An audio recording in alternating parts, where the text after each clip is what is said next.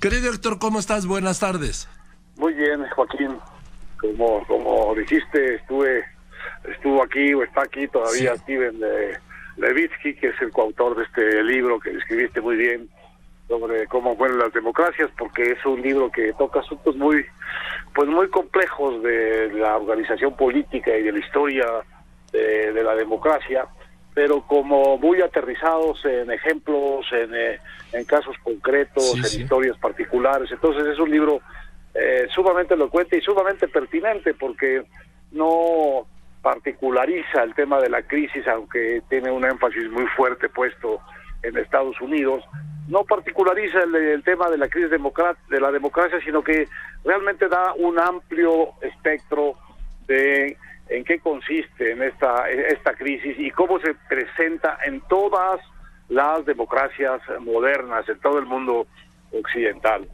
Eh, eh, la cátedra a la que yo asistí, la conferencia a la que yo asistí es tan rica que creo que la voy a dedicar eh, la, la semana entrante las columnas de Milenio a, analizar sus distintos aspectos, pero hay uno que me interesa mucho conversar contigo porque es eh, quizá una de las cuestiones más más más finas del análisis que hace este este Levitsky, que por cierto habla muy bien español. Eh, él dice que eh, no hay constituciones ni instituciones democráticas que por sí mismas garanticen la sana vida democrática. Dice, fíjate que hay dos cosas, eh, dos reglas no escritas, eh, sin las cuales las democracias no funcionan bien. Y esas dos reglas no escritas, que no están puestas en ninguna, ninguna ley ni están eh, escritas en ninguna constitución, son estas. La primera es que tiene que haber una tolerancia incluyente del adversario, en el sentido de que el adversario no es un enemigo, el adversario no es una amenaza existencial, el adversario es un tipo tan patriota o tan bien intencionado como tú que piensa muy distinto de ti, pero sus razones son tan buenas y tan legítimas como las tuyas. De manera que tu adversario no es tu enemigo, ni es tu amenaza, es tu competidor. Y en esta, en este, en este matiz, en este entendimiento, lo que hay es la posibilidad de que la pluralidad, las diferencias, no se vuelvan irreconciliables, no se vuelvan terminales, no se vuelvan guerras civiles, sino que se vuelvan al contrario, riqueza y pluralidad y diversidad, que expresen la diversidad cabal de una sociedad. Pero si no hay esta, esta observancia eh, voluntaria de la regla no escrita, de la tolerancia incluyente, entonces lo que empieza a ver es lo contrario. Empieza a ver la polarización, la descalificación y de una o de otra manera la guerra, el tú o yo, el tu existencia impide la mía, evita la mía y por lo tanto para salvar la vida tengo que estar dispuesto a quitarte la vida. Eh, este, este, esta primera regla no escrita me parece importantísima y creo que está presente en todas las democracias que han funcionado bien a lo largo de la historia. Y, también, también está presente en todas las en todas las democracias que no han funcionado. Bien. Bueno, claro, porque por ahí empieza el asunto. La gran crisis de la democracia americana, según Levitsky, es que a partir de los años 90 en el Partido Republicano se establece una lógica de que un gobierno como el de William Clinton o el avance de la, del Partido Demócrata en su coalición de afroamericanos, hispanos y otras minorías eh, desafía o amenaza la existencia de la hegemonía ah, de la etnia, digamos, de, la hegemonía blanca en los Estados Unidos. Y entonces ahí empieza una, una polarización que termina muy claramente en eh, durante el gobierno del presidente Obama, a quien ven como una amenaza existencial que hay que erradicar uh, de todo a todo. Y en esa polarización es donde aparece eh, Trump. Trump es un síntoma de esa polarización, no es el principio. Entonces, eh, ese primer asunto de la tolerancia es clave. El segundo es más sutil, pero apenas lo piensas un poco, es muchísimo más eh, inteligente que, que, el otro. Y quiere decir esto, se llama, él le llama la autocontención institucional.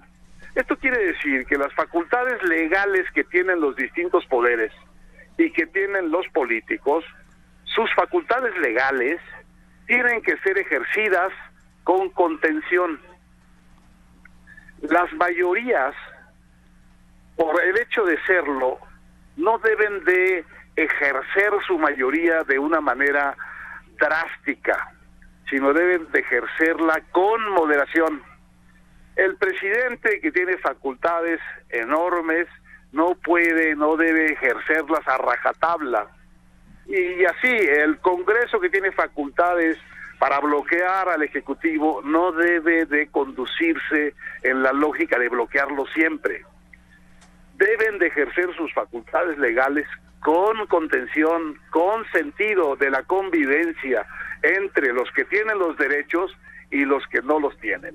Esto me parece absolutamente, absolutamente clave porque, eh, porque si, si no hay esta, esta, es otra forma de tolerancia, pero en el sentido, en el sentido mucho más complejo de no ejercer tu derecho a rajatabla, porque dice eh, Levitsky con gran elocuencia, a fuerza de aplicar la ley a la letra, acabas violando el espíritu de la ley.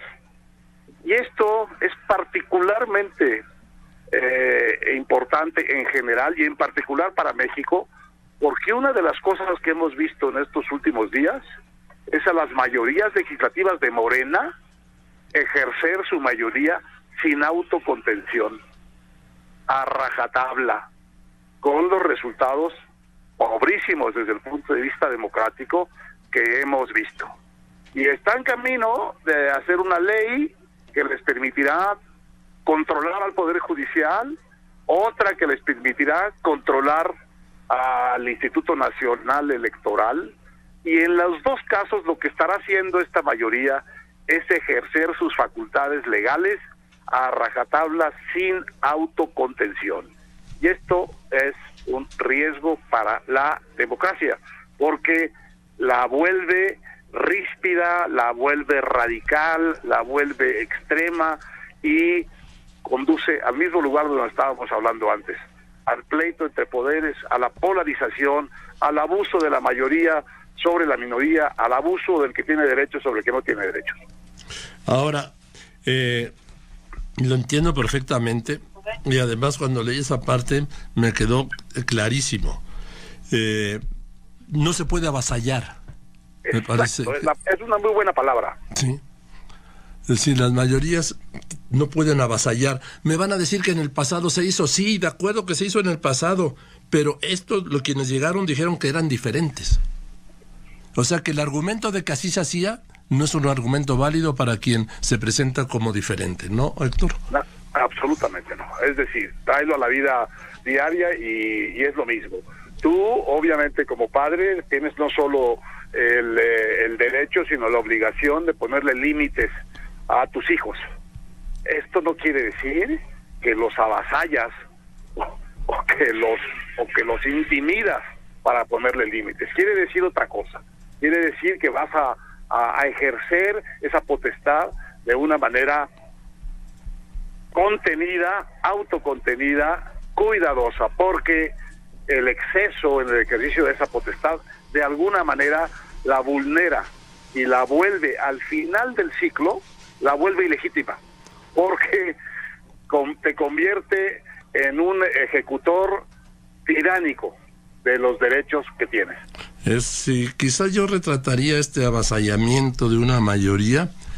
Eh, quizás el mejor retrato que hay es el proceso de elección de la presidenta de la Comisión Nacional de los Derechos Humanos, Héctor. Bueno, ¿qué tal?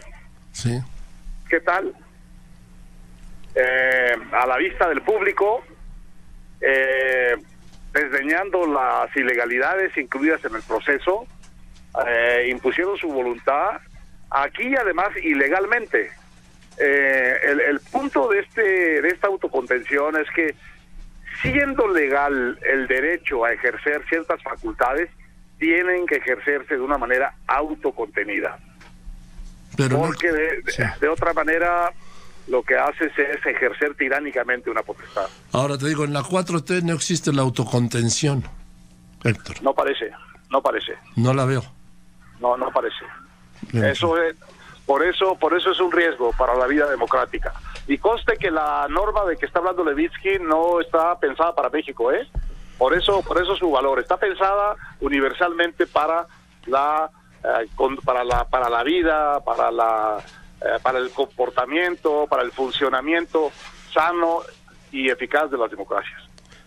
En fin, pues gracias Héctor y gracias por la recomendación del libro Cómo mueren las democracias que me voy a echar este fin de semana y te mando un abrazo. Muchas gracias.